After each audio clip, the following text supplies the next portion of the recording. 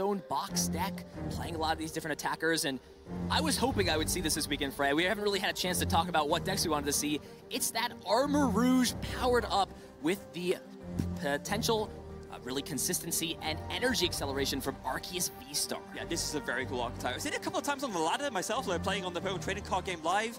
And uh, at first when I saw it, I thought, oh, what's, what's quite going on here? Yeah, you, you know, you got the Arceus, but you got Armarouge, but the flexibility you have with that Armarouge's flare-off ability, of course, being able to move energies from the bench to the actives, and then the flexibility of attackers that you have with that, as you mentioned, sort of getting energies onto the field with um, the Trinity Nova is really, really cool deck. And uh, cool to see it here at 2 being piloted by Christian LaBella.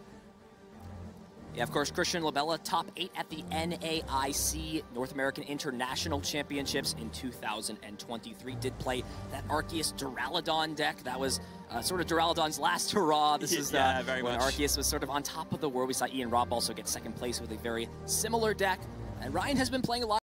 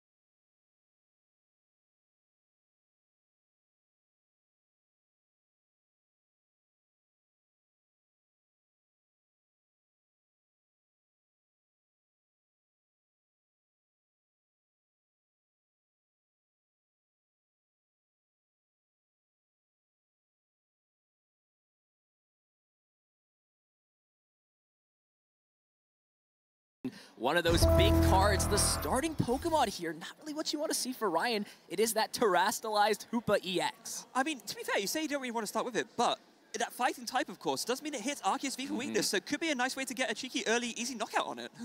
It is here for that Energy Crush attack. We've seen this attack be super strong against Arceus, a card that loves to put lots of energy into play. We'll just be Artazon. Starting things off, Ryan will get to look through the deck, see what cards are available. And yeah, I mean, Hoopa's a great Pokemon to have down, but this is the Lost Zone deck we're talking about. You need to use those Comfey flower selecting abilities. Speaking of which, we'll see the Comfey as the temporary selection here off of this Artazon. Yeah, yeah, I guess that is the thing, right? It- obviously, Hoopa is a great attacker, but you don't really want to start with it, like you said. It- It's a sort of, you always want to drop it as a surprise attacker. Almost by virtue of starting it, Christian is now thinking, oh, hold on, this is something I have to be aware of now, and he you, Ryan can't really drop it as a surprise anymore, which is, uh, you know, not great for him. So will be that Comfey selected off of the Artazon. And Christian's not going to get a lot of value off of that, but can grab the Charcadet. So any extra consistency you can provide to a deck like this, it is playing sort of a thin but barrel line as well to support. This is an archetype that sort of popped off a little bit, Arceus. We've seen time and time again last year at the International Championships in Europe. It's a great deck towards the beginning of the format. It's got a lot of pieces already established. Your V Pokemon are already out. And this hand is looking actually really awkward here for Ryan. It's just going to have Oh. to pass the turn over to Christian.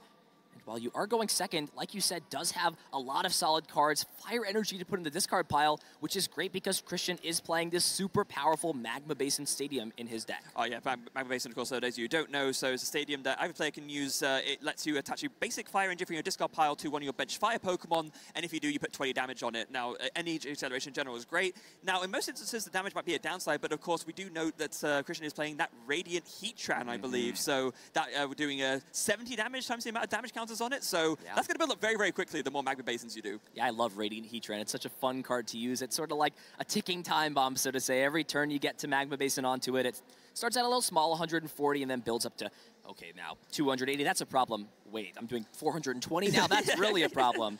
So we will just see the Arceus V get grabbed. It would be great to put some more energy onto that with Trinity Nova and utilizing Ryan's Artazon that he put into play last turn to grab that Charcadet. Of course, Fire Off is the key ability here for Christian to move these fire energies around to power up a variety of attackers. Yeah, very important to make sure that you use uh, your opponent's resources as well as your own. You know, the stadium's there, you may as well make the most out of it. And oh, look at that setup as well. With the Squawkabilly able to put it down. Squawk and Seize, discarding nothing and drawing a fresh six cards. Christian is off to an amazing start right here. He hasn't even played a supporter card yet, and I don't even know if you necessarily want to at this position because you know your opponent doesn't really have a strong hand. They could be sitting on something like Colress's Experiment, of course, going first in the Pokemon TCG. You cannot play a supporter card from your hand. It will just be another Nest Ball, and this is going to be an interesting choice on how Christian wants to maybe spread these energies out. There isn't necessarily a lot of threats of now, Lost Zone can sort of ramp up a bunch of cards in the Lost Zone. It can be scary to put energies when you're staring down that Hoopa EX with Energy Crush. But, I mean, we've sort of laid it out here. Excellent start for Christian. It's really going to be on Ryan to respond with this incredible setup that Christian has had so far. Yeah, and as much as you don't want to, you know, attach your energy, you kind of have to, right? Ultimately, your deck is relying on getting as many energy on the field as possible, and you kind of have to just accept that the Hoopa is there. There's a threat you're aware of. You'll deal with it when the time comes. And what is uh, placed in your favor right now is that, you know, we're looking at Ryan, Ryan's setup here. What is it? A Comfey and a Hoopa, and Mm-hmm. like, and uh, that Lost Zone is looking pretty empty right now. So it is uh, not a great start for Ryan at all, and that means you feel a little bit safer with the setup, knowing that it's unlikely that the Hoopa is going to be able to sneak a knockout on you. So Nestball will grab another Charcadet, and there it is, that turn one Trinity Charge, powering up this bench. Arceus V also found that Maximum Belt, and that is a big card that Arceus gained with this new Temporal Forces expansion. Yeah, Maximum Belt uh, the ability to do 50 more damage to any EX Pokemon. Absolutely amazing tool for Arceus to help it reach KOs that otherwise, wouldn't. But go back to Ryan's side, we do see the first Colress experiment of the game. And that was a top deck as well. Really Oh. needed that to uh, keep himself into this game. Arceus is a tough matchup when they've got 280 HP. Could be, struggle to knock them out, and there's some tech Pokemon that Christian is playing that could cause a lot of problems. But this is sort of the downside of Colress when you don't have a lot of other cards in hand. You really need a lot of pieces after a poor start. Is this is going to be a tough choice, and it looks like we may actually see that new Buddy Buddy Poffin hit the Lost Zone as well as Comfey. So really just prioritizing the other cards in hand, which it looks like could be cards that allow Ryan to maybe boost up these Lost Zone numbers like that Lost Vacuum. Yeah, I think the problem is uh, taking the Buddy Buddy fight often doesn't do much for you right now because you don't have any switching cards in hand. Ryan has got nothing to like switch out with, so sure, you can bench the Comfeys with a Buddy Poffin, but then what are you going to do with them? They're just going to sit there doing not much of anything. So we sort of get a first peek here at Ryan's deck. Is playing some interesting cards. We do actually see it looks like the grass energy in here. So uh, playing something like that Iron Leaves, which we see towards the end. It's not going to be too important in this matchup, but this is the benefit you get when playing a toolbox style deck. You can sort of include a lot of different energies, and that's all thanks to Mirage Gate, which is really what lets Ryan's deck function. Yeah, it really feels like the Lost Zone deck, uh, Lost Zone toolbox decks are now drifting more towards this multiple two prize attacker style. We see that you know. The Lost Zone decks have kind of drifted between one prize attacking strategies and two prize attacking strategies, but there are so many good versatile two prize basic attackers in the format right now that making the most of them is just going to be the way that uh, this deck sees success. So all in on this Greninja, it seems. Big Oh. two cards off concealed cards, but yeah, still not able to find any of these switching cards. No. And that is not what you want when you're staring down an Arceus V on the bench with a maximum belt. That's going to be dealing 250 damage if it can find a way to evolve into a V-Star. Yeah. Yeah, this is this is the problem with Lost Zone decks sometimes, for Frey. I'm going to keep it honest. Sometimes if you're not able to build yourself up, build a big hand, have a lot of options, these great utility cards like Super Rod, like Mirage Gate, uh, they're great in the later game, but as of right now, they're just going to sit in the hand and really not provide a lot of value. Yeah, yeah, Ryan is not sitting on not much of anything right now. In fact, going to Lost Zone, one of those uh, super rods with that Lost Vacuum, get rid of that Maximum Belt, very wise choice. Going to make it a lot harder, maybe even impossible for Christian to KO this Hoopa. But Ryan is already quite far behind enough. The last thing that he needs is for Christian to get an easy two-price knockout on this uh, Hoopa EX uh, with uh, the Arceus. And that's really why he valued that lost vacuum there off of that Colress. Just wants to remove that maximum belt. That makes a huge difference here when you're already off to a slow start. You can't give your opponent these easy two prize cards. So Christian will sort of have to reroute a little bit here, and it is going to just be that boss's orders. And uh, listen, who needs Arceus V-Star? You can just use another magma, use the magma basin you have in play, build this Heatran up, and now with that power edge, you're still dealing enough damage to knock out Comfey and Christian will be the first person to take a prize card here in game one. Yeah, yeah. Uh, Arceus V does have a damaging attack. It is that power edge, just does 100 and, uh, 130 damage, so it'll be 110 uh, yep. after the double turbo, but more than enough to knock out Comfey. so what can Ryan put together? Another sort of tough choice here. I feel like you've maybe got to put this Radiant Greninja up. It's got a little bit less of a retreat costs. Now, Ryan did play that Lost Vacuum, so uh, there are now three cards in the Lost Zone because did get rid of the opponent's Maximum Belt. So now, what is going to be the choice here for Ryan? There is the potential to attack with Hoopa. That we could see a couple Flower Selectings plus Colress, and speaking of Colress, will be the first card chosen to be played. Another five cards here to look at. Pick three in the hand, Lost Zone 2, a few interesting utility pieces here to think about. Um, Ryan does play switching cards, right? Just, just, want to make sure because uh, yeah. I'm having my doubts right now based on how these Colress experiments are going. Goodness gracious. That's that's the Pokemon TCG for you, Frey. Yeah. You just have some variance sometimes, and yeah, Comfey is a great card when you can switch in and out, use flower selectings. Not only are there no Comfey in this hand, but there are also no ways to switch and use those abilities. Are just looks like going to see the Cramorant, which is a really useful card to just put in some damage, maybe set up for some two-hit knockouts. But with Ryan already being at six prize cards, Christian did take a prize last turn at five. It's just going to be that heavy ball. That's sort of the easy choice. We didn't see any key Pokemon prized. Now here, what do you grab? There is a Nest Ball in the hand, so maybe prioritizing having that Forest Seal Stone. Of course, Star Alchemy allowing Ryan to grab any card. This is sort of the trick of the trade. It will actually just be that lightning energy yeah. sent to the Lost Zone. I think it is important to note the only V Pokemon that Ryan plays is that Raikou V. So if that Raikou V is ever prized, that Forest Seal Stone essentially becomes a dead card. In this instance, we know it's not, so uh, so it's fine. But uh, yeah, kind of reliant on that one of to make your other one of work in that sense, which is. Um, can be a tricky thing for a Seal Stone. Of course, it only works when it is attached to a V Pokemon. It doesn't work on an, on an EX, so it does give, of course, that V-Star power. So we'll see the Nest Ball played this is just, I mean, it's early on in the game, so uh, Chris Ryan is not out of it by any means. There's still plenty of Pokemon left to be played. But what do you do here to really get yourself back in this game? I mean, you know your opponent's hand is not super strong. Could be bluffing a little bit. I mean, playing that boss's order is definitely a great way to target down your consistency, your ability to just draw cards. Uh, but we are just going to see the Comfey grabbed off of this nest ball. And we may actually have to see this Radiant Greninja retreat out or bank off of this concealed cards. Freya, what do you think is the correct way to sequence through the rest of this turn? Uh, it's so tough. And uh, I mean, I was going to say maybe I was I was going to oh, I was about to say maybe Ryan just grabs the Raikou V so you can actually use that Forest Seal Stone. But it looks like instead no, Ryan's opting to not go for it. Instead, just going to attach it to the Greninja and vacuum it away to build up the Lost Zone numbers. And that is magic number seven being achieved. So Ryan will have access to play Mirage Gate if that's available. And here comes the sort of tricky decision for Ryan with not having a lot of ability to draw and filter through the deck to maybe have some poor cards. He's got a pretty tough choice here. Sort of debating between do I get rid of this Cramorant? I've got two Gusting cards in my hand, and this is actually a really tough decision. One of those cards selected off of that Colress, that Cramorant, will now go to the Lost Zone. So Ryan does have these seven cards in the Lost Zone. There's a lot of options here. really, I've got my eyes on those two Charcadet on the bench. If Ryan does have that water energy. We could maybe see a Moonlight Shuriken take the knockout on both of those Pokemon. Oh, that could be devastating. There is no Manaphy on Christian's uh, bench, so yeah, no bench protection option. If Ryan does have the means to put together, this would be a devastating uh, turn and would be a really great way for Ryan to come back into this game. It looks like no water energy, so I like this second option here. Grab the Hoopa EX. It's already on the bench. Power it up with this Mirage Gate. I believe there is a Dark Energy in hand, so this Greninja can retreat and use Energy Crush to take a knockout on this Arceus and respond. And that was a big loss Zone there to get rid of that maximum belt the earlier turn because right now with how it stands, the only thing that can really take a knockout onto this Hoopa is potentially that Radiant Heatran or another Pokemon that Christian, Christian can drop down and move the energies to. And this is exactly how to play if you're in Ryan's position, right? You know that your back is against the wall. You know your deck isn't operating the, the way it would usually like to, but you still have to make the plays to the best of your ability. And with all, even with all of those difficulties in the early setup, Ryan has still managed to get a Hoopa down and take a really meaningful two-prize knockout, and exactly like you mentioned, with the maximum belt got as well, it's a two-prize knockout that Christian doesn't really have an easy way to respond to. Definitely didn't think I'd be seeing Energy Crush get in there when Hoopa was released uh, back in Paradox Rift, but hey, listen, this is 2024. This is the new standard rotation. Anything can happen.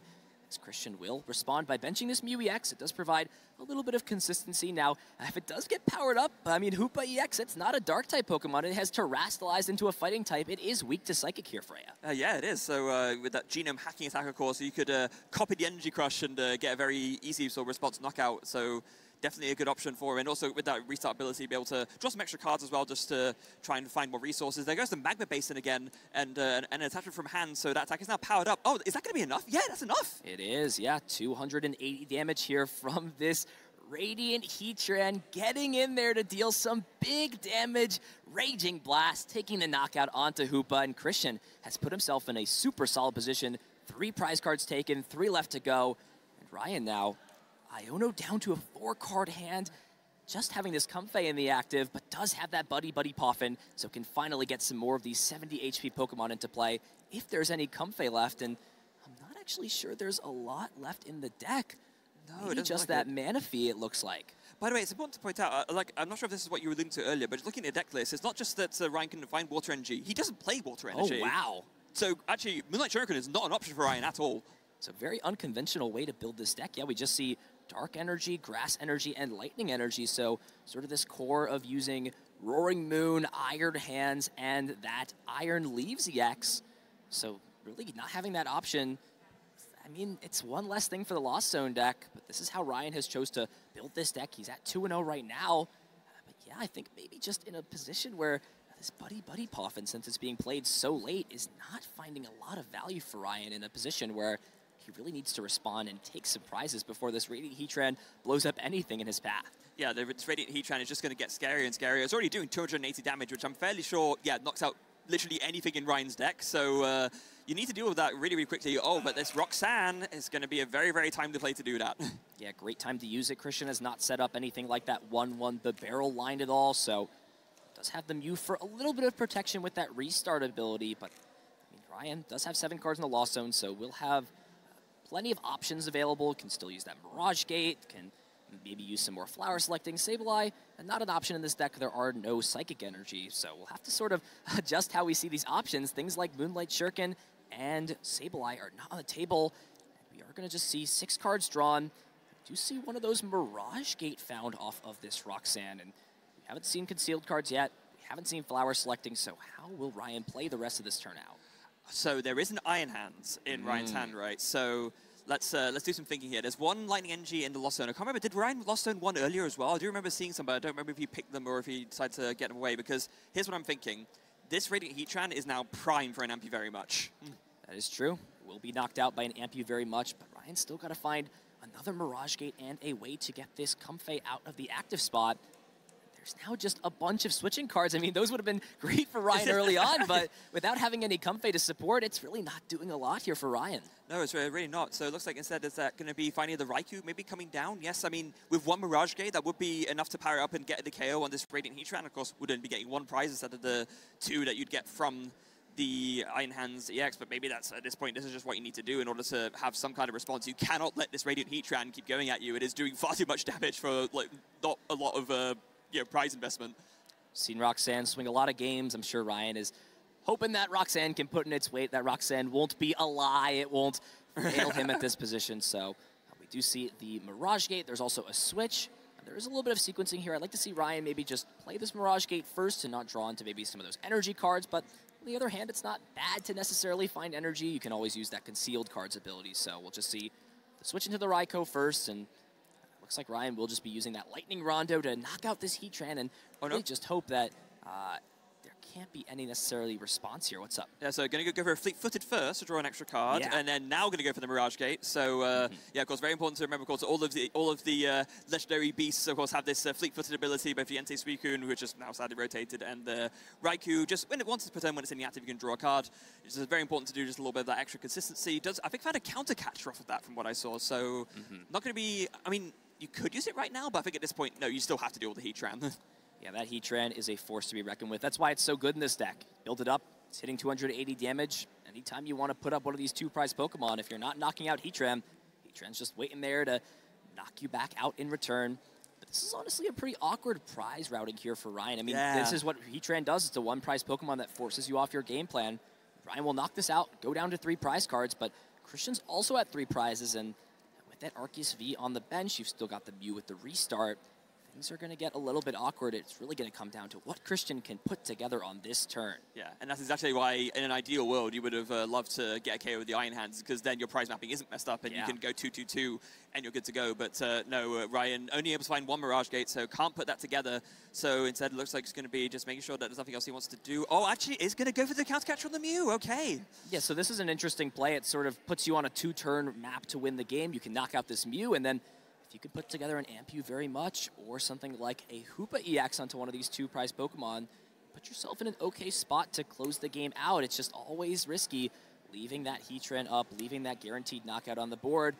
We're just going to see it though. Lightning Rondo taking the knockout on the Mew EX. It is one of the downsides of uh, 180 HP, short amount of HP that Mew EX has. And now Christian has got to decide what does the game plan look like this turn. The Iron Hands has already come down to the board, so I mean, Ryan is playing with an open hand at this point, saying, yeah. look, if you bring this Heatran up again to attack and I can find my last two Mirage Gates, then I could put together a very powerful Amp You Very Much to close this first game out. Yeah. Now, of course, we can't also we also can't forget uh, that Squawkabilly EX is there sitting on the bench, uh, sitting pretty, um, mm -hmm. catching overheads uh, there from Christian.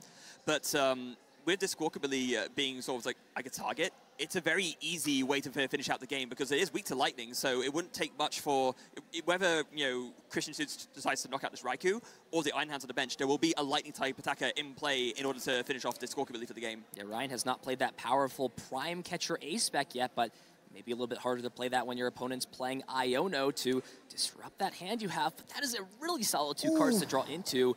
Uh, of course, that emergency board and that Colress's experiment.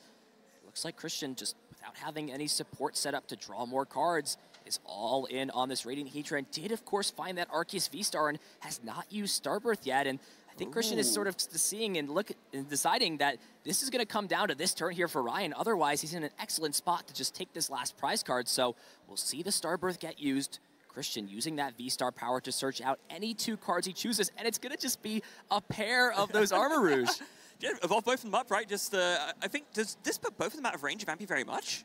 I, I, I just it's not, to be fair, it's not that relevant in this instance because uh, you care to Squawkabilly anyway, but uh, yeah, just get them both out, why not, right? yeah, Armarouge does have 130 HP, so it okay. would still be in range of Amp You Very Much. But you've got that Heatran sitting there, no reason to overcomplicate things. Absolutely. There it is, Radiant Heatran putting in that work yet again, knocking out that Raikou V. We'll have to see if Ryan can put together a powerhouse term. That's a great way to start things off, though. Colress's experiment, we don't see any Mirage Gate, though, or something like a Super Rod to put some more of those Comfey potentially back into the deck. Yeah, no Prime Catcher either, of course, very mm -hmm. important uh, key piece to find. Um, there is a Snorlax there. You could maybe piece together a KO and a Squawkabilly with that if you can get it powered up, but yeah, no, Ryan not really finding like the extra dig that he needs in order to uh, put this all together. It's going to be very, very tricky to carry this on. Yeah, let's not forget though that one Mirage Gate is still stuck in the top of the prize card, so oh, that is a big piece that Ryan doesn't have. Really, that Iron Hands, all it really did that last turn is it just sat on the bench to clear a space out of Ryan's deck when something like this Iono came down. Will have to be some sort of a play to use Prime Catcher, and that Snorlax may be the final hope that Ryan needs, but I'm trying to think with this hand. I don't even know if there's a combination of cards off of this flower selecting that can get Ryan to this spot. No, I think you're right, honestly. Of course, you're only getting one card at a time, right? So it's uh, you can maybe, yeah, nest ball for a company just to try and dig some more, but I think with the amount of cards that you would need to find to pull this together, you can't, you just, you just can't really do it. It's all going to come down to this prime catcher.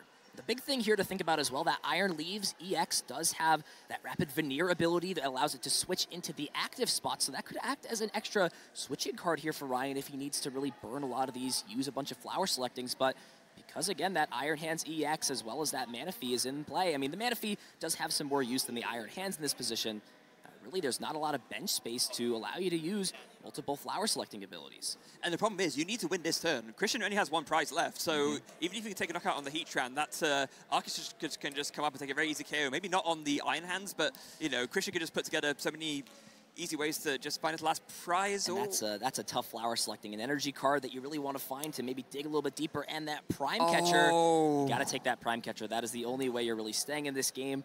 One more flower selecting. What can Ryan find to give himself hope in this game number one? Oh. And it's both Super Rod, but I don't think there's any Mirage Gate in this hand no. for Ryan to use. I believe he's pretty much got no gas left in the tank at this spot. It is too little too late. Needed to find those super rods much earlier. I don't think Ryan can put anything together at this point. Maybe you prime catcher to try and stall, but it doesn't really feel great when you need that to piece together your win. I mean, you can't yeah. stall off with that fire off ability. You oh, can no, just exactly. move the energy wherever you want, and there's enough in play that nothing can get trapped with this Radiant Heatran dealing enough damage to knock out any Pokemon that stands in Christian's way.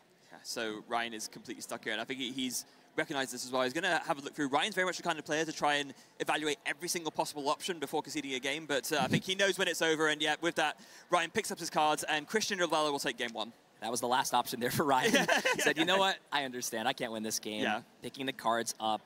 Christian LaBella moving to still at 2 0, but moving up a game in this set with Arceus Armarouge. I mean, that was not on my bingo card for this weekend, No. Freya. I acknowledge the deck. You know, I tried it out a little bit on PTCG Live. I saw what the deck had potential-wise. There was a few matchups that were a little bit tricky, but this list looks really solid for Christian. Performed excellently in that first game, putting him in a solid spot to remain undefeated on the day. Absolutely. And let's be fair to Ryan, right? His start was absolutely horrendous. He did not really get set up the, the way he wanted to. And uh, he was uh, like, when you're starting with a Hoopa and maybe, yeah, you take a nice KO early on, but then afterwards you just are not really struggling to respond to things, it's uh, going to put you in a tricky spot. So, yeah, Christian, very well deserved win there. We're going to go on to game two now. Uh, see, let's have take a look at back at that game one. Yeah, we saw early on that Arceus V get in there. We don't see it attack a lot, but it can deal some solid damage. Really just going after Ryan's poor start early on. Even with that Hoopa, it was that Radiant Heatran that was the MVP in that match, just blowing up anything that stood in Christian's way. Yep.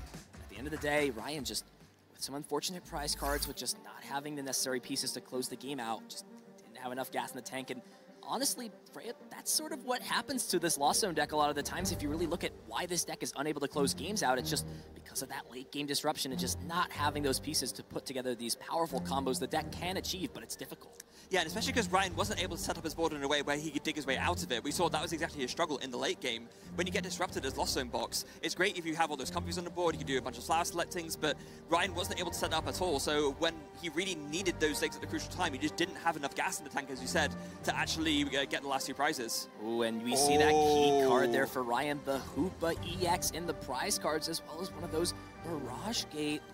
That is a card that you really don't want to see. You can find it with something like that Hisuian Heavy Ball that we do see Ryan is playing, but never feels great to have that in there as we are getting straight into game number two. Ryan will be kicking things off, does start that Comfey with the flower selecting ability, and right away, card that Ryan would have liked to have later on in the game, that Super Rod, will have to be sent to the Lost Zone, but there's other great cards in the hand to support Ryan's first turn. Yeah, that first uh, flower selecting was uh, for between a Super Rod and a Buddy Buddy Poffin, and uh, Ryan's definitely going to want to pick that one in this instance, of course. Uh, this is one of the great new trainer cards from Temporal Forces. Lets you get two basic Pokemon from the deck with 70 HP or less and put them onto your bench. A phenomenal setup card for so many decks, including uh, Evolving decks and for getting your Comfeys out in Lost Zone decks. When Battle VIP Pass left us, Buddy Buddy Poffin was here to rescue us. I know lots of people love this card a lot more than Battle VIP Pass, but you don't have to compare them. Battle VIP Pass is gone. I'm sure we're going to be saying Buddy Buddy Poffin for many years to come. Yes. It, it is that thing as well where Buddy Buddy Poffin, it's nice because even if you don't see it turn one, it's still a useful card later on, right? That's like a nice benefit that you get from it, unlike with Battle VIP Pass, of course, where you can only play it on the first turn of the game, which I think is what perhaps where, you know, some of the comparisons and some of the distaste for Battle VIP Pass came from. And look at this. Card we don't see a lot in the Pokemon TCG standard format. That Ditto with that transformative start ability. I really like it here in this Lost Zone deck. There's lots of Pokemon that you'd love to have in the active spot at the end of your turn, or just to, in this case, maybe just have another Comfey in play. Yeah, and we're talking about the comparison between, you know, Battle VIP Pass and Buddy Buddy Poffin. This is almost a way to turn Buddy Poffin into a pseudo VIP Pass, because of course you can put that Ditto in the active, and then if you want to, you can, you know, to convert it into a basic EX from your deck. So lots of switching cards this time. I'm sure Ryan is happy to see those here in this opening hand. Now the question is, how do you sequence this through? We are just going to see the switch card played first, and Ditto's going to get in there, give his wave goodbye, hit the discard pile, and I'm sure will not return for the rest of this game. So we'll see what the choice is. I mean, most of the time, Comfey seems like the most logical, but this is also a good way to get something like Radiant Greninja down. There are a lot less ways to search it out as Buddy Buddy Poffin only grabs Pokemon with 70 HP or less. But it's just going to be another Comfey. Ryan going to keep the flower selecting train going, and with his hand, could bump himself up to three cards in the Lost Zone on the first turn. Yeah, so in this instance, uh, Ditto just acting almost like as the one card deck fin, right? Just because you could you could have grabbed the the Comfey straight away, but in that instance, just get Ditto out your deck and uh, just uh, fin your deck by one more card so that you can uh, dig into all the other things that you want to set up. So one flower selecting gone. Let's see what he finds off the second flower selecting. It's already off to a much, much better start in game one, so Ryan's got to be feeling pretty good about his position compared to that. Yeah, building up the lost zone is the key. So anything Ryan can do to just get that number up, get himself closer to seven, is going to be solid. It's sort of an awkward choice here. Yeah. I feel like Cramorant is a card that has a lot better utility in other matchups, but it's still a great tool to set yourself up, put on pressure to these lower HP Pokemon, or set up those two-hit knockouts. Does value that over that basic Dark Energy. And we'll see Flower selecting number three to close the turn out here for Ryan, and it's got plenty of great cards to work off of for the following turn nothing to complain about here yeah. for Ryan. Yeah. Oh, and there's that Roaring Moon EX as well. Ooh. So, oh, and another Dark Energy. So this is actually tough. So Dark Energy is the energy that Ryan plays most of. He plays four of them. But with two Lost Zone ready, you're already putting a lot of pressure on them. It's, it doesn't feel great. But I think because when you're talking about, you know, a card you have three of that versus a card you only have one of, you kind of have to make that choice. Yeah, and this choice can be influenced a lot by the fact that Ryan has checked his deck. He knows that that Hoopa EX is not in the deck. So you might need that Roaring Moon to be able to take these one-hit knockouts if you're unable to find that one copy of Hisuian Heavy Ball. It's the price you got to pay sometimes. Playing a little bit higher counts of the Dark Energy, it's kind of become standard in any Lost Zone deck that plays Roaring Moon is playing four copies of Dark Energy. See the Radiant Greninja come down off of the Nest Ball, and could see concealed cards as well. I don't hate that, just fill the hand up a little bit more. But, I mean, Ryan has more than enough here in this first game. Yeah, so Conceal cards gets fired off and two drawn boss's orders, and was that the Prime Catcher? I think it was. Yep, Prime Catcher is a great card to have yep. later on. Now, there is always, of course, the ability for it to go to the bottom of the deck with that Iono supporter card. I think Ryan's good for now. Uh, could also see Cramorant get benched, but I think, again, Ryan's in a solid spot. Uh, these players are kicking off. It looks like we're going to have, hopefully, a lot closer of a game than that first game here for our two competitors. Sure seems that way. It looks like uh, Cramorant is going to go down after all, but after that, it's just going to be a pass. And uh, over to Christian. Let's see what he can do. Oh, speaking of, I, I know there it is right, right away. It's uh, could put that Prime Catcher to the bottom, but uh, going to want to play out the rest of his hand first. We do see there, start with an Ultra Ball, so Gonna want to probably want to find a Charcadet, I imagine, just to, to start, get the setup going. Hey, there's a card that Ryan's gonna have to read. That Armarouge oh, EX. yes. Don't let it fool you. Armarouge has got that great fire off ability, but Armarouge EX has got an attack that can get in there. Of course, it's got that ability that gives it uh, essentially minus 80 if it's at full HP. It takes 80 less damage, so it's essentially a stage one 340 HP Pokemon that could be hard to take down. We'll see what Christian wants to grab. Does, of course, have the basic necessities you want as an Arceus deck, Arceus V, an energy attachment, and a little bit bonus, some ways to draw cards to hopefully find that Arceus V-Star on the second turn. Yeah. Now, there are, there's a there's a lot of things that, that Christian could go for here. I'm just trying to think what would be like best for him. So we did talk about the Charcadet already, but it could be the chance for maybe a Squawkabilly if he wants to really sort of dig early on. We do see it's there available on the deck for him. But no, in this instance, just going to go for the Charcadet, get that, uh, of course, basic down so you can evolve into your stage one as soon as possible. And then maybe we're just going to see an Iono after this. There wasn't, I didn't see much else in the hand to work with in this instance. Yeah, not a bad way to end the turn off, draw some more cards. I think the only choice here for Christian is how greedy do you want to get in this spot? Is there ever a world where you don't attach this fire energy and then play something like uh, an Iono and then hope to draw into double turbo energy so you can Trinity charge. That is the advantage of playing uh, this Armarouge is you can technically miss the attachment on turn one and still be okay because you can Magma Basin then move the energies off, but looks like Christian will just play things safe. Uh, and actually a smart choice here from Christian. Mm. Just going to pass the turn over, has the Arceus V-Star plus Disruption for the following turn, but with Ryan having some solid, powerful pieces in hand, this could be the opening he needs to maybe take a two-prize knockout this turn. Yeah, it is. Now, I mean, from from Christian's side, what I'm actually probably thinking is, you know, if I just uh, do the setup but then don't play a supporter, I might be sort of giving the impression that my hand isn't as strong as it is. Maybe Ryan will figure out and think, oh, maybe Christian's just holding on something really strong to disrupt later. But there's a little bit of a mind game going on here will be another energy card sent to the Lost Zone off of that Colress's experiment. There's only 10 in the deck, so Oof. we're at almost a third of the energy cards unavailable for the rest of the game here for Ryan. Will be flower selecting next.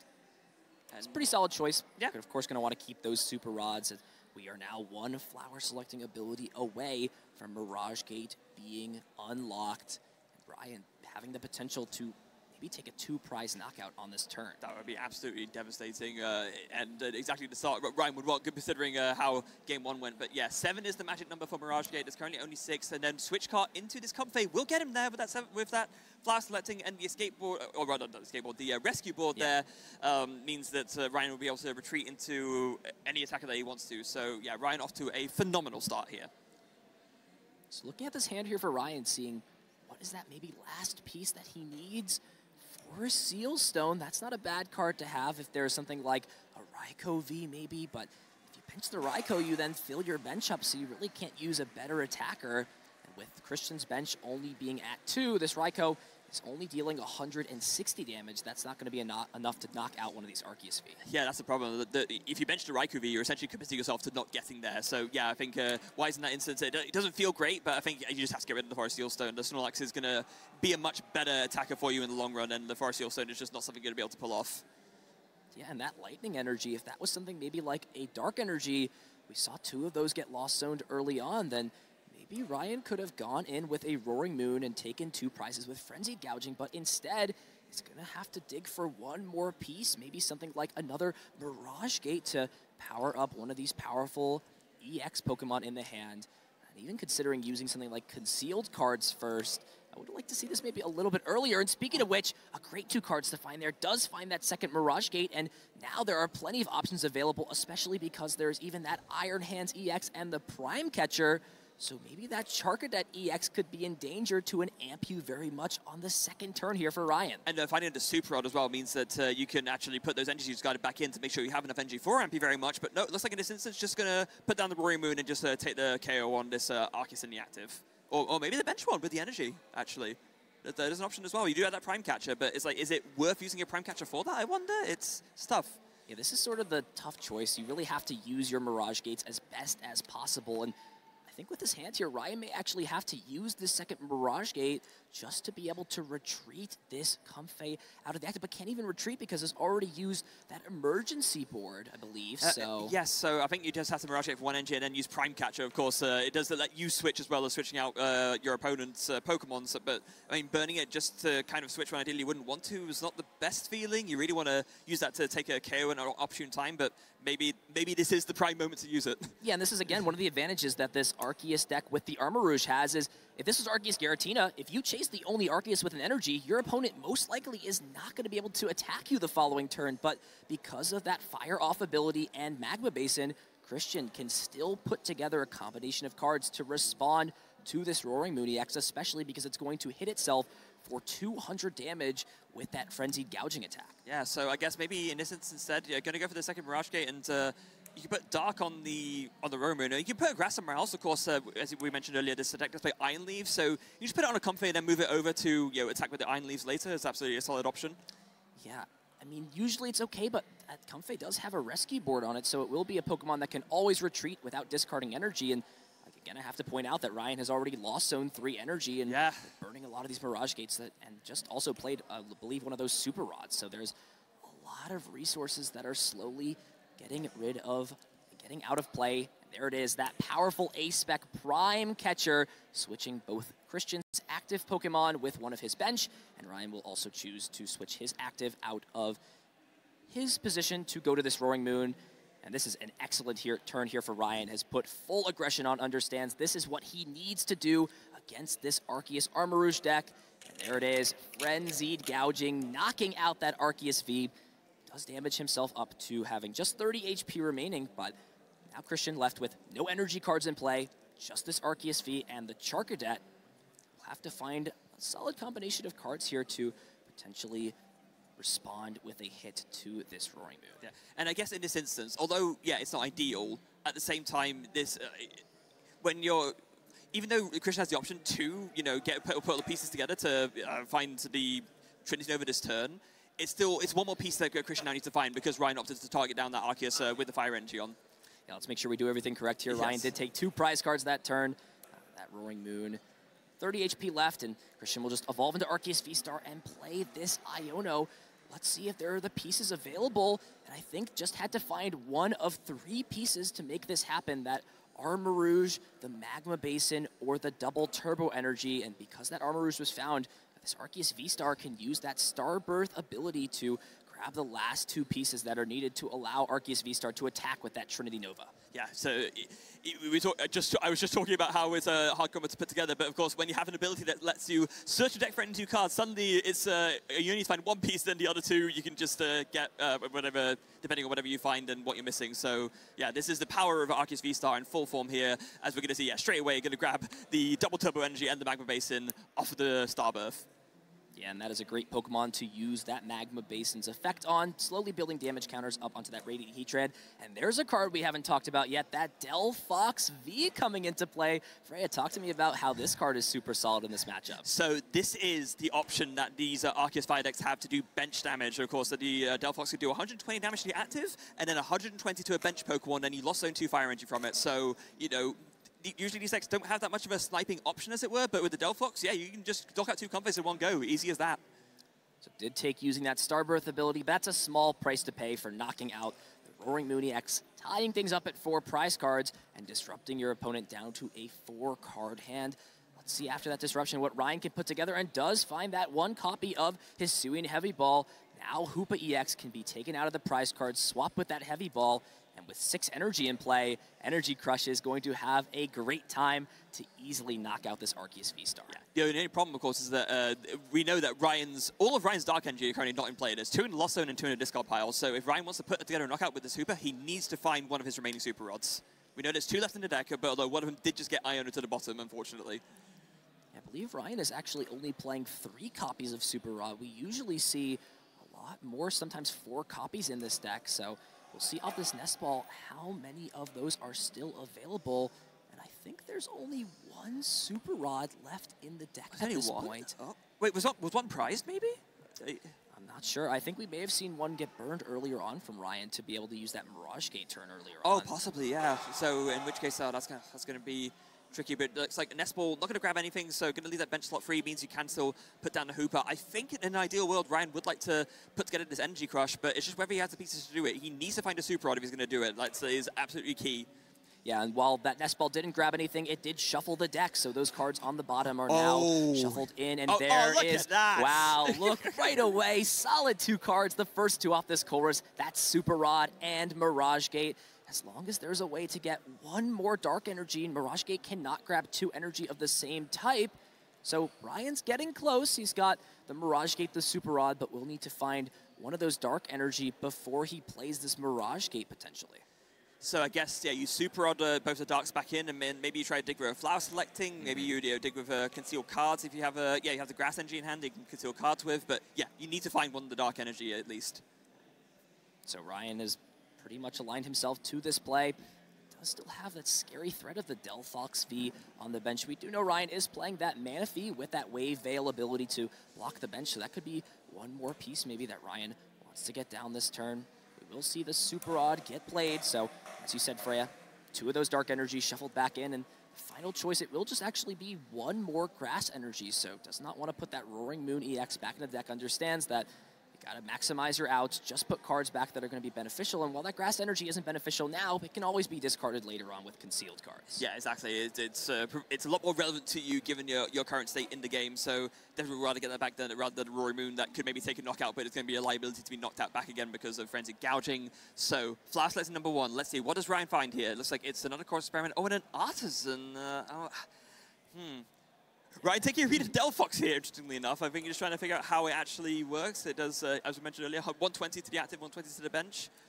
That's yeah, and I believe this gets really awkward because I think that last Comfey is in play, so there's really only that one bench spot for this Hoopa if it wants to come down and attack. So even if you want to put Manaphy into play, there's really not a great option as it stands at this point. There's no Moonlight Shuriken option. Here we go, two more cards with concealed cards does find this switch card, so can confidently retreat into one of these Comfey and use this final flower selecting ability. Ryan needs to find a Dark Energy here if he wants to attack with this Hoopa. Let's see what he gets. Tension is building up. It all comes down to this and finds a switch. Oh, you can look at one, one more. card. This is, oh. this, you go oh. down the rabbit hole. You think it's done, and then you get one more card, and you get to see two more cards, and it never ends with this deck. no, it doesn't. You think just one more, just one more. Spin the wheel one more time. There we go. Switch into this last Comfey. Does Ryan find what he needs? there's only two in the deck, and this deck has to be pretty thin by this point. Ryan's played lots of Colress. Do we see the Dark Energy? No! No! Oh. And now this is emergency case scenario for Ryan. What do you do in this spot? The Hoopa cannot attack this Arceus V-Star. There's tons of energy in play. The Armarouge is already set up. And looks like it's just going to be benching this Manaphy. and I don't even think Ryan has any other attack to use besides something like Spit Innocently, which is yeah, I mean, putting some pressure onto this Arceus V-Star, but it's nowhere near the same effect as just taking a clean one-hit knockout onto it. No, I guess I guess not. And uh, at the very least, so knowing that you know, Ryan can't pull off a knockout, the Manaphy is by far the best thing to bench because now you deny Christian from taking a two-prize turn. There's only single prizes out on the right side of the field. The Manaphy is going to prevent the Delphox from doing any bench damage, so although it's not great, this is the next best option you could have done if you uh, did miss the the, uh, the Dark Energy off of all of these uh, flower selecting. So Spit Innocently coming in, and it's going to do 110, soften up this Arceus, and uh, it's going to be on Christian to respond again. Yeah, man, if he at least making this not the worst case scenario, can protect, protect the bench as of now. Just see some more cards get played for Christian, but this is almost like a bonus turn. I think Christian was maybe expecting for this Arceus V-Star to potentially go down. It's always possible when you know your opponent is playing. A card that's sort of in the deck to deal with fighting weak Pokemon, being that Hoopa EX. It will just be Tails in the Capturing Aroma, so a basic Pokemon grabbed, be another one of those Charcadet. And I feel like if you're a Christian, you gained a lot of information in that first game.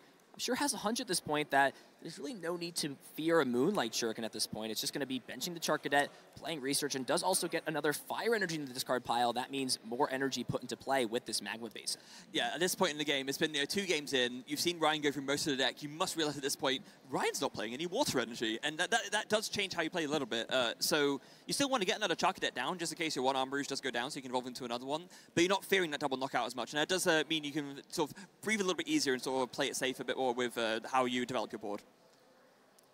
So really counting the resources here for Ryan, because this is all that this Lost Zone deck comes down to. We know that one Mirage Gate is still in the prize cards, and two are burned to attack with that Roaring Moon. So with one Mirage Gate left, you're really kind of limited on what attackers you can use. Iron Hands is going to have to be sort of a slow, sort of a projected, like, hey, I'm benching this, I'm attaching to it. Yeah. I kind of want to use this in a couple of turns. So that's going to be what's going through Christian's mind at this point. What is my opponent going to want to attack with on the following turn? As finally everybody's favorite beaver, that Bidoof, coming down into play. Yeah. Potentially evolve into a barrel next turn. We did also see one of those Roxanne get lost zone for Ryan, so a lot less disruptive power on the table. And here we oh. go. We're going to see uh, Armarouge come into play.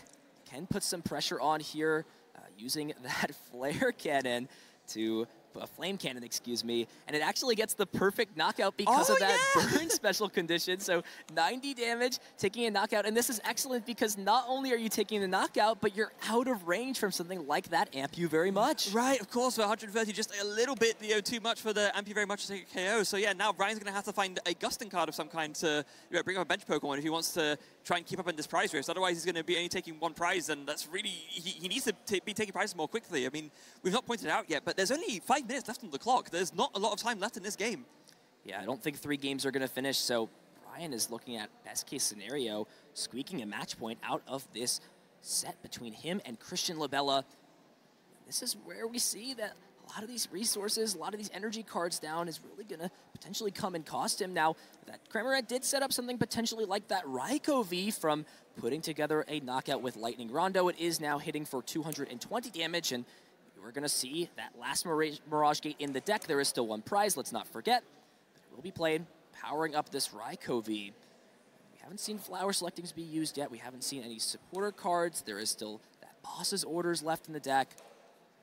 Ryan has really got to think about how he's going to put together two back-to-back two-prize turns. Otherwise, Christian's got more than enough energy, attackers on board, to be able to plow through anything that Ryan's going to be able to put together. It is interesting that Ryan's already committed to his Raikou V. To me, that almost like telegraphed that a sort of a boss's orders was more likely, but with not having it in hand, committed to the Colress experiment. Is there, I guess he can find his one of countercatcher? That must be what he's taking for at this point. Yeah, so just getting those energies out of the deck to have a better chance at finding them, but sequencing well or not, there were no counter catcher found off of these five cards from Colress's experiment. The deck is getting eerily thin for Ryan. Yeah, we it's know. not going to count anything out. We know there's ways to put cards back into the deck, but it's always got to be something on your mind. Yeah, it is. And we do have uh, the flower selecting has not been used yet, so can dig a little bit more. Again, we're just spinning the wheels on those uh, Comfeys to try and find the last pieces that we need. It does have to do have access to concealed cards as well to try and dig it more, more just to find this counter catcher. Going to be very important for Ryan to find it here. So here's the first two. Oh, finds it off the first draw of the concealed cards. Yeah, both remaining gusting cards in the deck, that counter catcher and the boss's orders. And I'm finally seeing the vision here for Ryan, putting these grass energy on the Comfey. Now, while they don't look like they do much, we haven't seen that Iron Leaves EX get put into play, and that can always move Oh. energies around. So maybe this is what Ryan needs. Take a two-prize knockout here onto something maybe like that Delphox V that can be knocked out.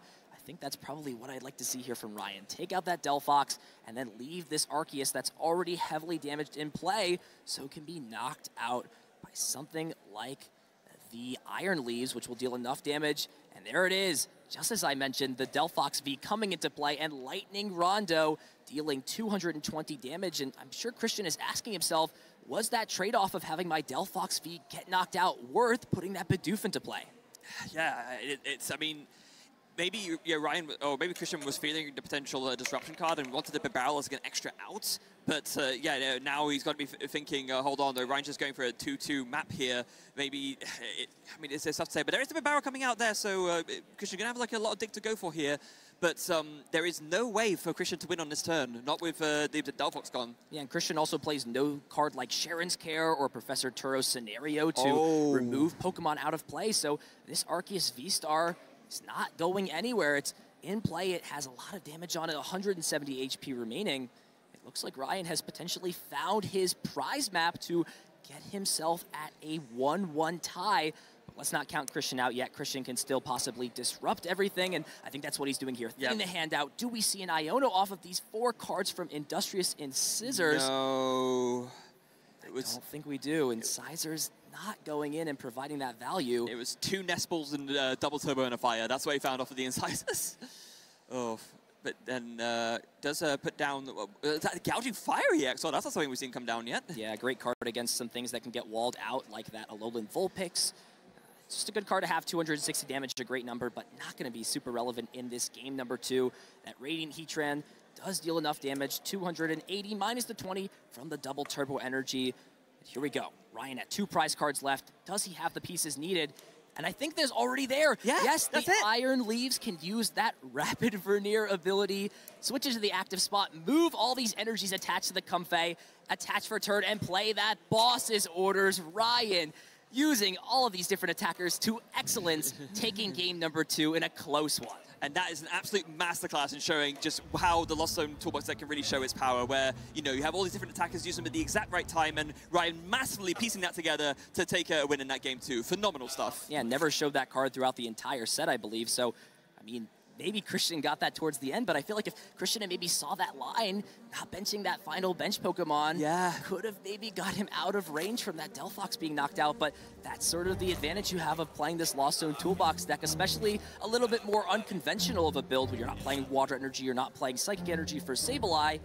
You got to make your opponent maybe question things a little bit more and maybe not have as solid or maybe a little bit of an improv game plan coming into this match. And it's so tough, right? Because you're thinking, okay, what's more likely here? That, you know, the last bench Pokemon I put down is going to be the, you know, enough to make the Raikou KO by two prizer? Or uh, do I fear disruption and want to give myself the option for the barrel to draw out of like a Roxanne? So, you know, and these are the very tough decisions that you see in these highest, highest levels of play.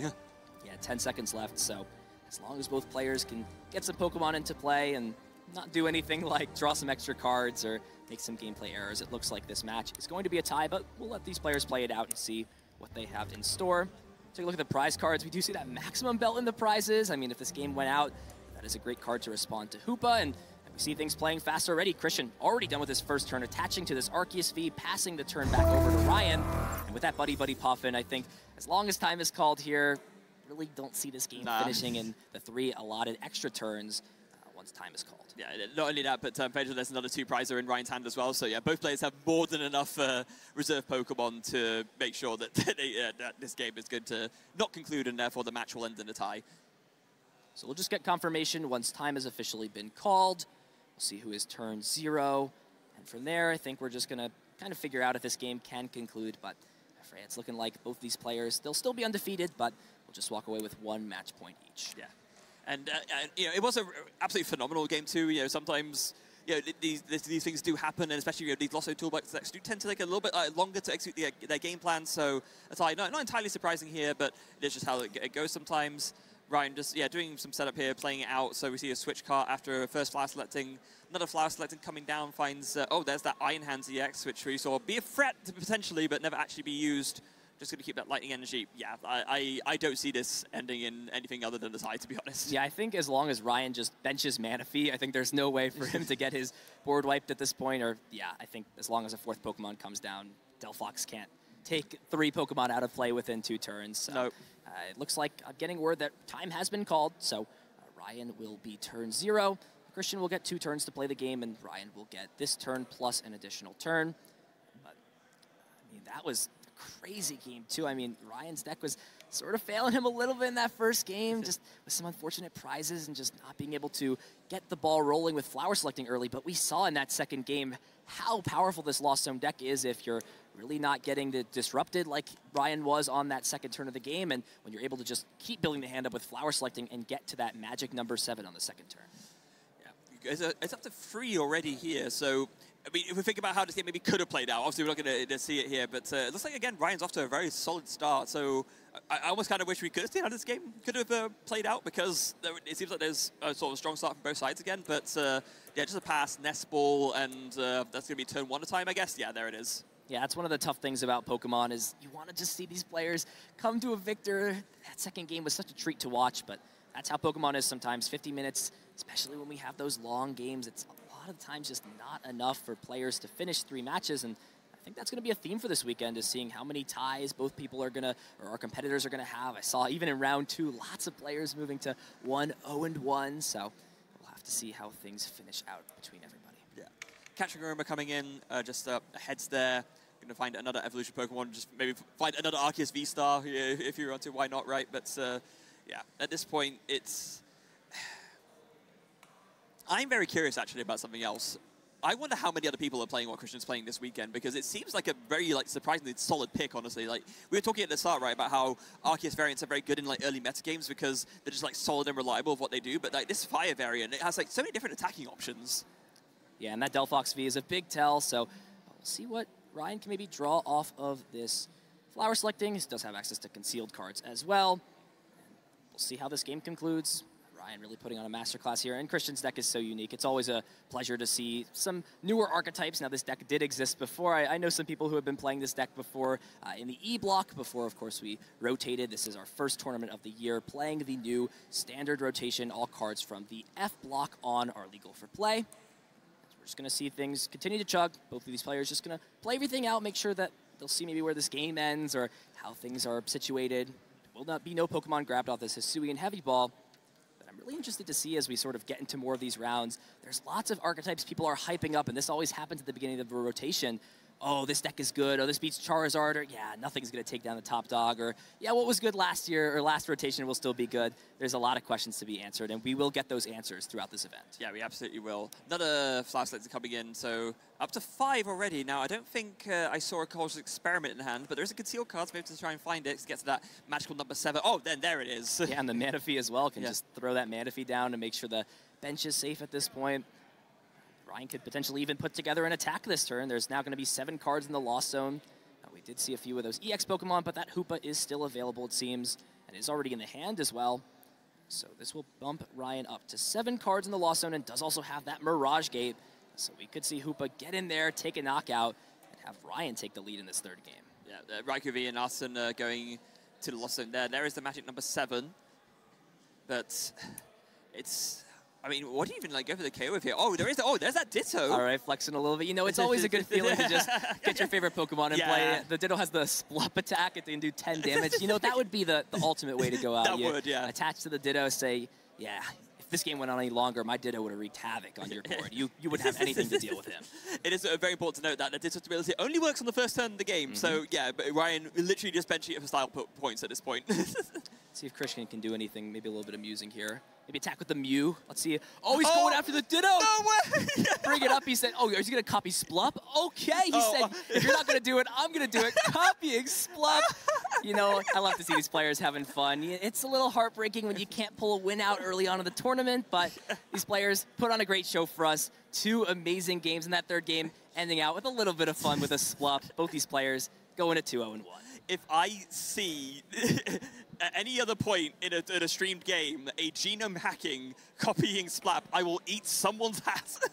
Yeah, I bet that wasn't on your bingo card viewers. I'm sure you guys didn't expect that, but uh. that's what makes Pokemon so interesting, and that's why these international championships are such a pleasure to watch. Yeah, absolutely are. So, this game ending in a tie, as we mentioned, so 1-1, a really, really great series. Uh, game one, off, uh, Ryan off to a harsh start, but still managing to almost uh, pull it back very impressively. And then, yeah, game two with an absolute masterclass in uh, Lost Zone Toolbox. So, absolutely great game to see. So, both these players, I think, are going to be pretty happy walking away with the result that they did. And, yeah, let's take a look back at some of the, the key moments from that match.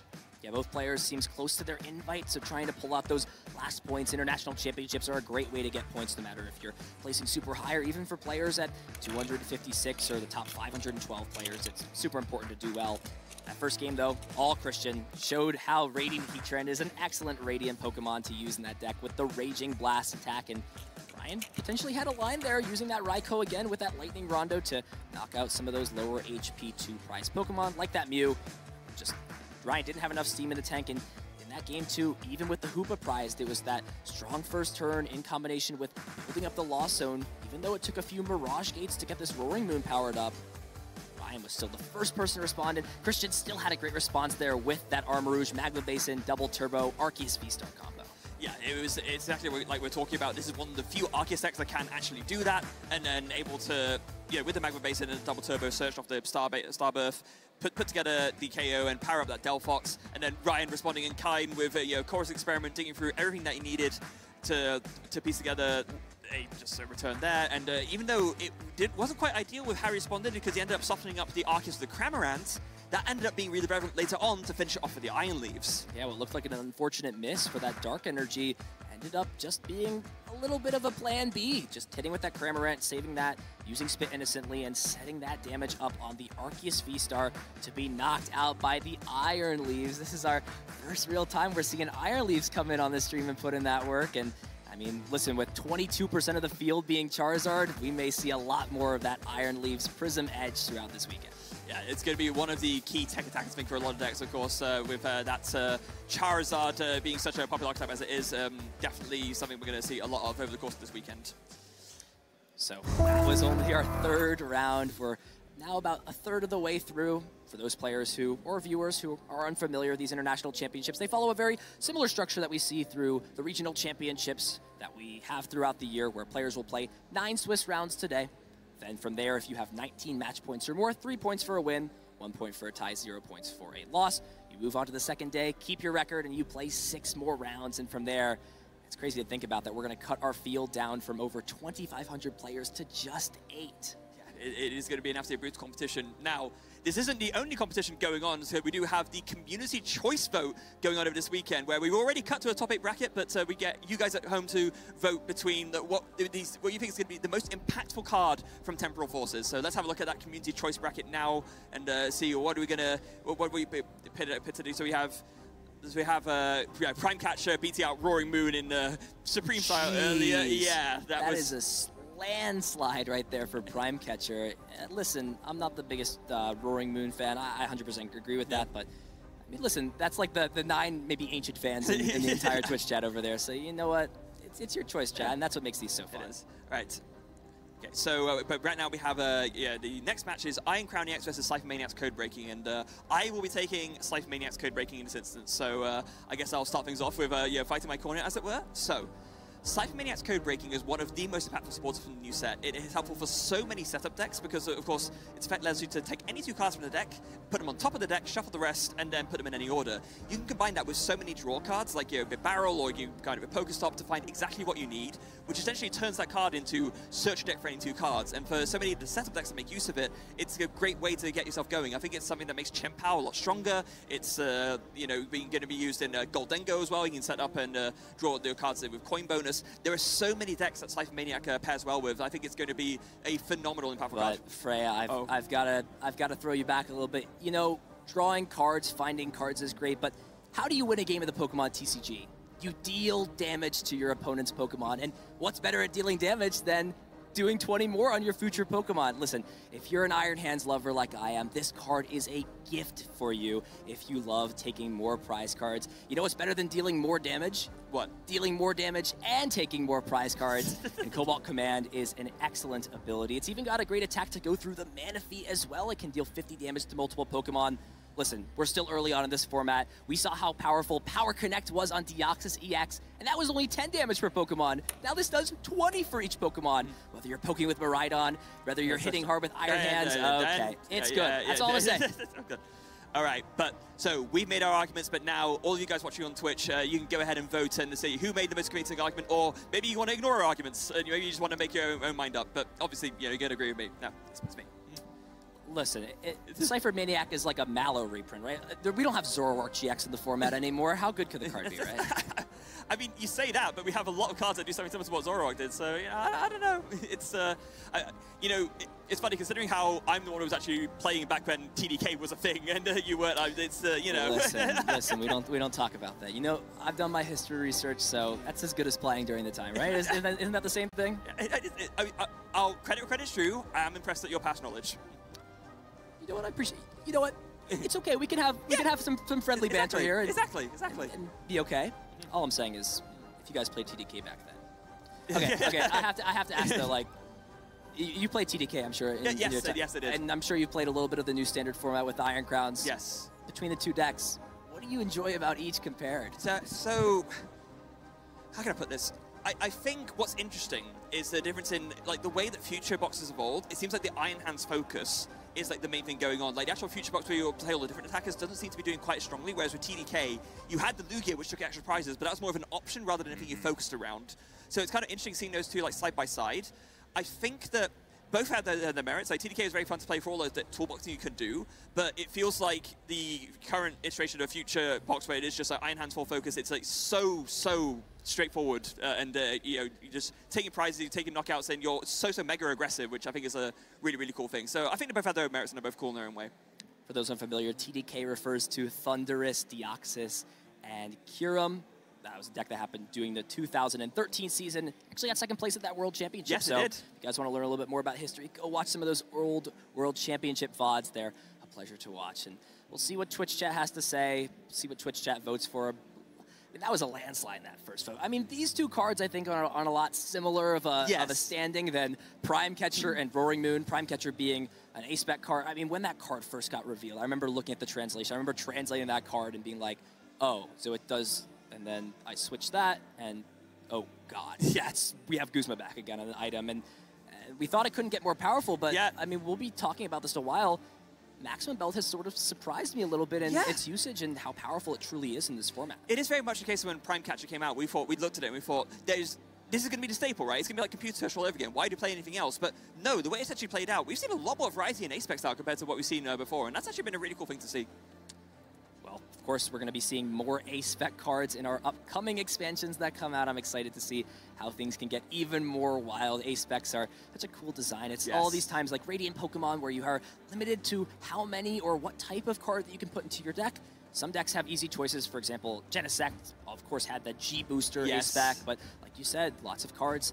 Or lots of decks really like to just play that one ace spec. Prime Catcher seems to be that general ace spec that if you don't have a better option to play, just play Prime Catcher. It's just a better version of Boss's Orders. Uh, it is. Uh, you know, a boss order in item form or Guzma, Guzma in item form maybe is uh, Yeah. better. That's uh, going back a little bit, not as much as uh, G Booster, but going back a little bit. Of course, uh, that Sportada basically did the same thing, let you, you know, switch uh, your opponent's active and then switch your own as well. A phenomenal, phenomenal card. If we're talking about 2013, you want to talk about pre-errata Pokemon Catcher? that was just that was uh, Pokemon Catcher. As you know now, you have to flip to bring up your opponent's active, but it used to just be you play the item and you just got to essentially it's just uh, boss's orders on an item card. Yes. And there was another card that could bring back them from the discard pile. Ju- I, I don't want to get in. I didn't even play during that, and I'm already stressed. Yeah, yeah, no, no, no, no, it was, it was a different time, different time, and uh, I, don't- I don't, I don't want to, I don't want us to end up like having to put the sepia filter on as we go back. Oh, back in my day, blah blah blah blah. But uh, it was, uh, yeah, different time for sure. And um, that era was fun, but I think I honestly prefer the way things are now. It feels like a little bit more fair. Like uh, with um,